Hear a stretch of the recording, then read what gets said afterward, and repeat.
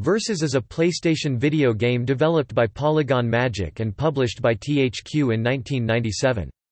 The game, a 3D fighter, features 20 polygonal, gang-based characters designed by former Marvel Comics artist Kurtis Fujita brawling in a two-dimensional environment. Players select different members of each gang to fight rival gangs on their respective turfs. The title is a port and an American localized version of Fighters Impact, which was released only on the Japanese PlayStation and in Japanese arcades.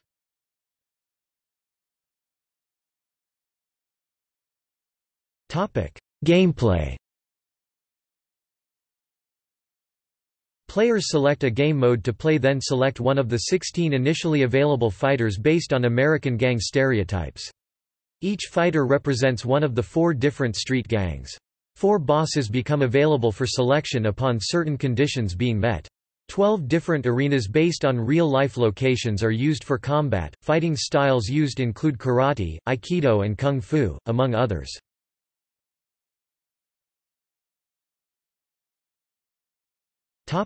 Reception The game drew some criticism from parents and religious groups for including a pimp character named Slim Daddy among its fighters, however, the game was not a big success by any standard, and the controversy faded quickly.